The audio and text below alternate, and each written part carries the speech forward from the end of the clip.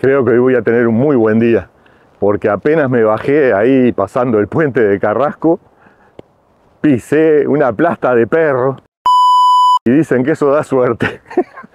es un país con muchos perros, estas ciudades tienen muchos perros y más en esos lugares que tienen casas grandes que aparentemente los perros sirven como guardianes porque ladran continuamente cuando uno pasa por afuera. Pero bueno, no es culpa del firulai, el firulai tiene que hacer sus cosas. Es culpa de los dueños que no tienen la conciencia de levantar los residuos del firulais para que los seres humanos no los pisemos como yo. Y bueno, es así.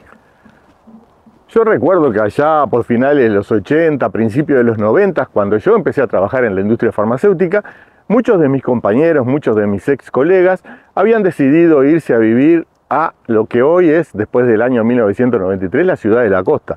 En aquel momento todavía eran los famosos balnearios, ¿verdad? Shangri-La, Lagomar, Solimar, Pozos de Solimar, Altos de Solimar, Brazos de Solimar, Lomas de Solimar. En este departamento usted camina 200 metros y ya cambió de, de balneario, es así. Bueno, en aquel momento muchos de los compañeros habían decidido irse para esos lugares porque la oferta de terrenos baratos era mucho más apetecible que lo que era en Montevideo. Aparte, yo creo que el sueño de casi todos los uruguayos es vivir frente al mar o cerca del mar. Y en ese momento había las posibilidades de terrenos a bajo precio y recuerden que las contribuciones en aquel momento eran mucho más baratas en la en el departamento de Canelones las contribuciones eran mucho más baratas que en Montevideo. Entonces usted podía comprar un solar más grande, edificar una casa con costos más bajos. Eso hoy ha cambiado, pero a principios de los 90 era así. Esa corrida noventera, después de la crisis del año 2002, cambió un poco y mucha de la gente que se había ido volvió para Montevideo. Mucha otra se quedó por esos lados y se hizo a la usanza de esos lugares. Es más, se había formado una cierta comunidad con la gente que vivía ahí por los balnearios, en las cuales todo el mundo se vestía de yoguineta. Y era raro, ellos se divertían juntándose a comer asado los domingos, no se iba al cine, no se iba al teatro, porque no había ni cine ni teatro. Eso sucedió recién cuando el shopping de la comuna se instala allí en la ruta interbalnearia y eso hace que bueno, la gente tenga un poco más de cultura, pero en aquel momento nadie quería venir a Montevideo y se quedaban entre ellos comiendo asado y de yoguineta.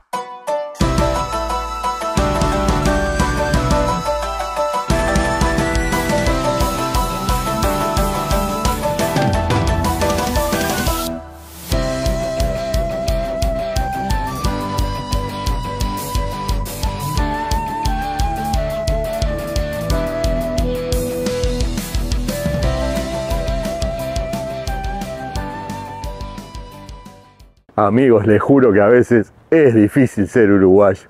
Fui a filmar al Shopping Almenara, que es un lugar precioso ahí, para contarles un poco de cómo migra la población de Montevideo para Canelones. Y vino no solamente un guardia, vinieron dos guardias de seguridad a decirme que estaba prohibido filmar.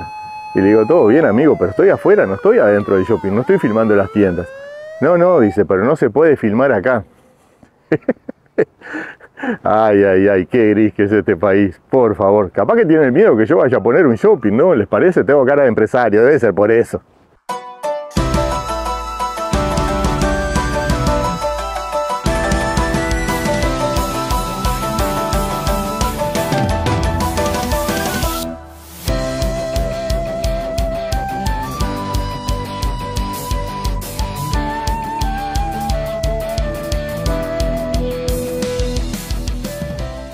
Con una inversión de aproximadamente 30 millones de dólares, este hermoso shopping abre sus puertas en el año 2022.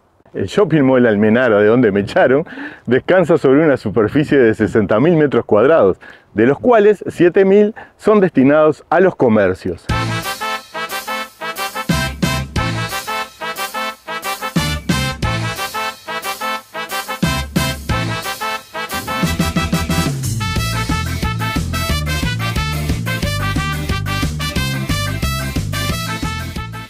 Les cuento que hoy mi intención no era venir a filmar a estos parques, mi intención era filmar en aquellos lugares de los cuales se va a tratar el video. Pero lamentablemente, por la mentalidad de ciertos personajes, no se pudo filmar ahí. Y bueno, no me van a quitar la alegría, me vine a filmar acá y les voy a contar un poco con alguna imagen robada que tengo de esos lugares de qué se trata esto.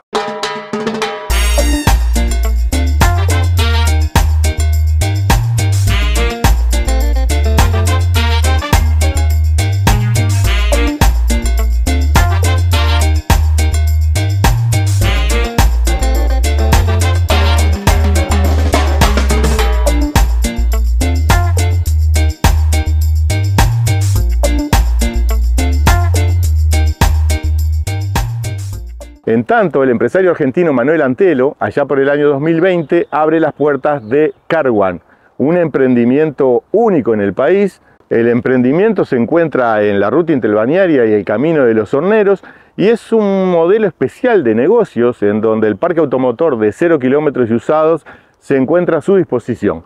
Aparte de eso, ha crecido muchísimo la zona y el modelo de negocios en los cuales hay hasta policlínicas médicas, supermercados de grandes superficies, venta de casas de deportes, en este lugar hay absolutamente de todo. Hay una modalidad de migración en la gente que se va a esos barrios privados que vive cerca de estos lugares, de no moverse mucho, de no ir hasta Montevideo para comprar las cosas.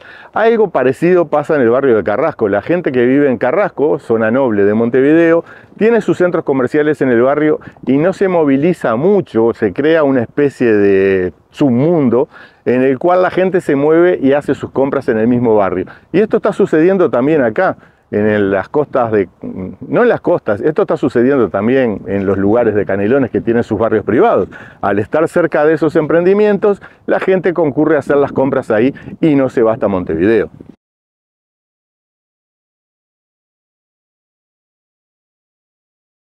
Les tengo una pregunta, ¿por qué ustedes creen que la gente decidió irse para las costas de Canelones? Salir de Montevideo e irse para las costas de Canelones. ¿Por qué? ¿Por qué? ¿Por qué fue? Dígamelo por qué. Por la playa, pendejo. Ah, por eso, la playa. Con... Ah, claro, claro, por la playa, caramba. Qué tonto, por la playa.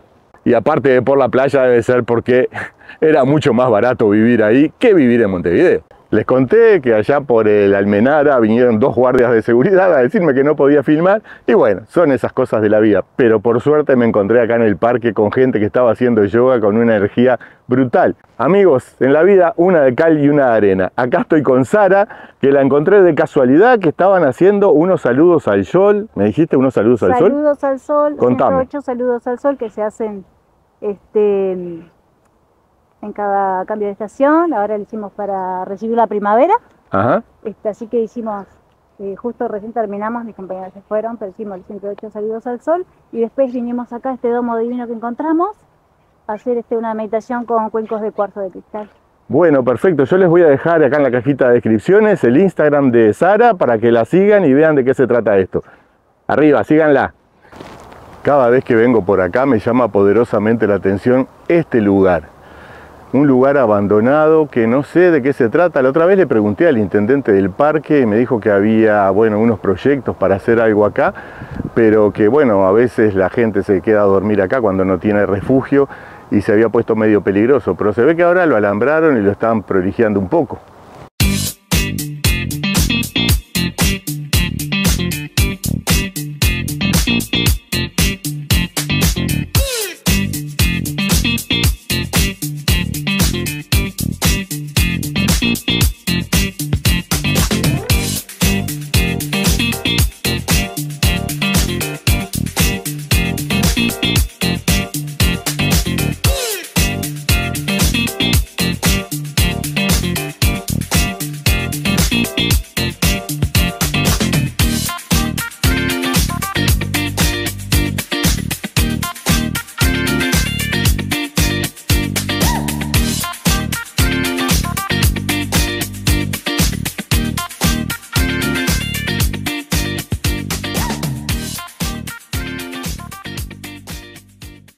Zona América es un parque de negocios y de tecnología que opera bajo la ley de zona franca desde el año 1990.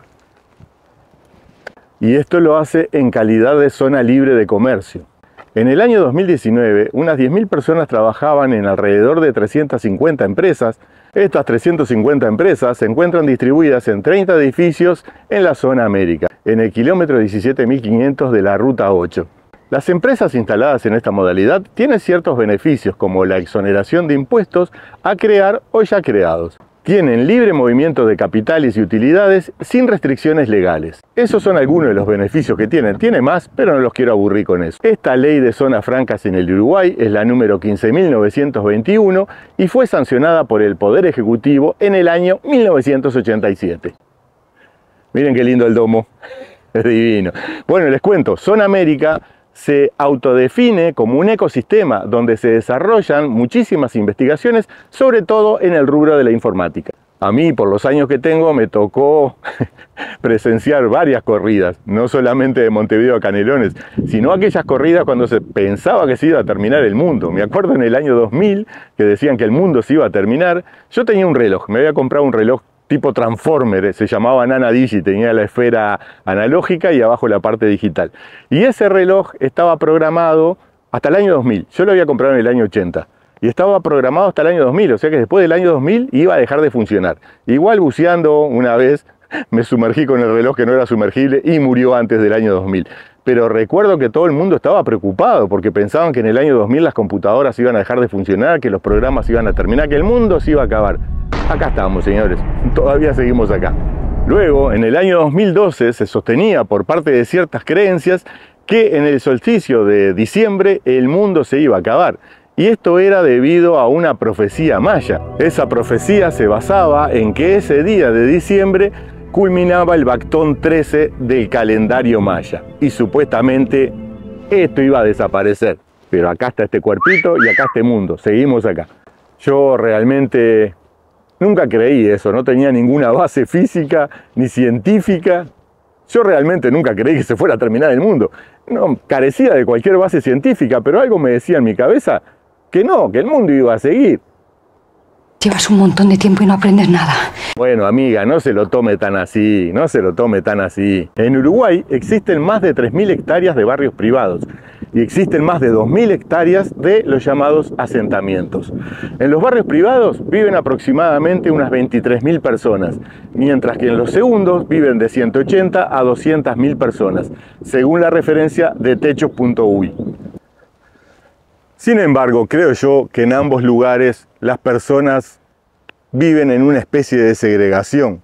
Por un lado los más pobres por la sociedad que los segrega y por el otro lado los más pudientes que se autosegregan ellos mismos viviendo en una comunidad aislada.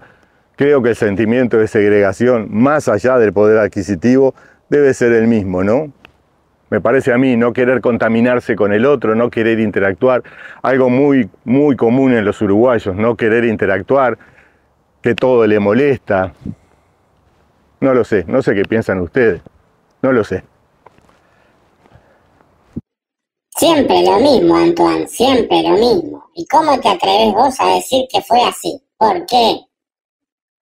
En una franja de más o menos 672 kilómetros existen aproximadamente unos 90 barrios privados. Esto no es un fenómeno que solamente atañe a Canelones, también están los departamentos de San José, los departamentos de Colonia, los departamentos de Paysandú, Soriano. Es un fenómeno que va creciendo exponencialmente. Qué placer caminar por estos lugares, amigos. No me canso de caminar por acá. Estos parques llenos de vegetación, de acacias, de eucaliptus, de diferentes especies de árboles. Realmente es un mimo para el alma caminar por estos lugares. No me voy a cansar nunca de caminar por los bosques estos, por estos parques llenos de árboles que oxigenan los pulmones, que le dan la sensación de libertad, de silencio, es espectacular. Por las normativas de Montevideo no se permiten los barrios privados, pero echa la ley, echa la trampa. Ahora se le llaman barrio jardín y son barrios que tienen un guardia en la puerta con una barrera y a los que usted no puede ingresar si no presenta su cédula o no dice quién lo llamó o quién lo invitó.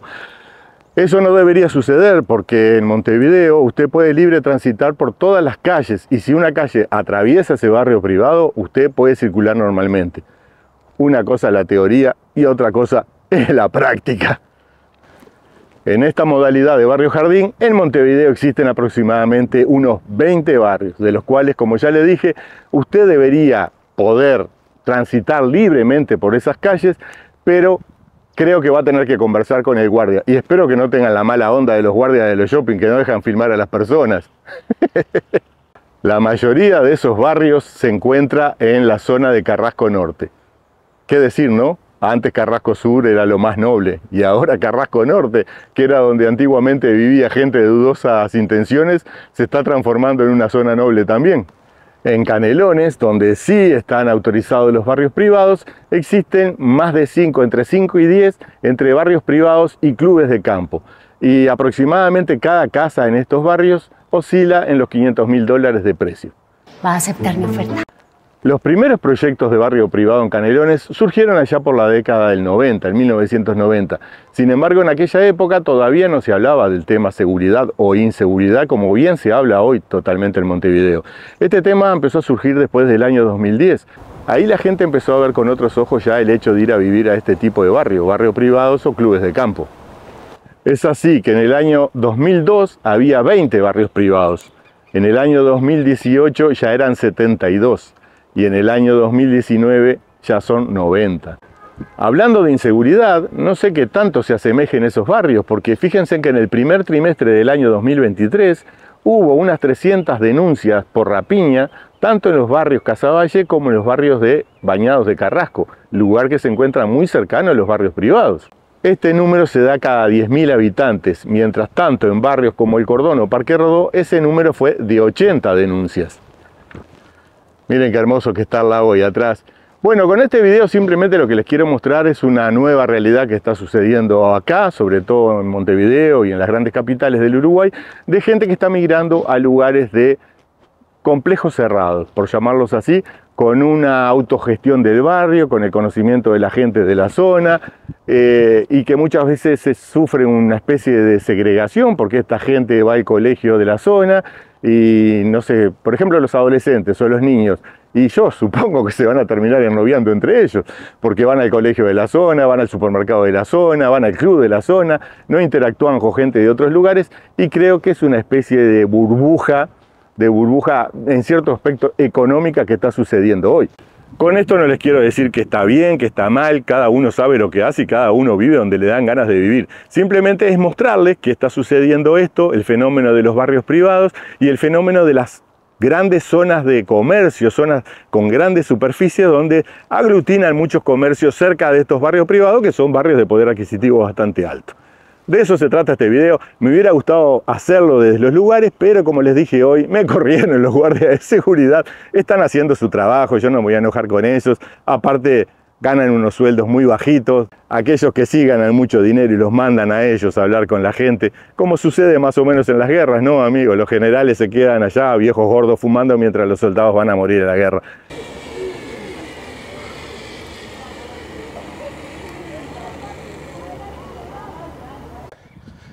Si tienen ganas de suscribirse, háganlo. Cada vez que se los pido no me funciona. Pero bueno, capaz que les toco el corazón y así lo hacen. Suscríbanse, denme un like y dejen algún comentario por ahí abajo. Vamos arriba. Amigos, esperando que les haya gustado un poquito esto que les conversé. El video capaz que es más cortito de lo que debía, pero bueno, tenía otras intenciones, así que hice lo que pude hacer. Como siempre les digo, sean felices, abracen a sus seres queridos, abracen fuerte a sus seres queridos. Le pegué al micrófono, debe sonar horrible. Sean felices y saludos a la familia. Chau, chau.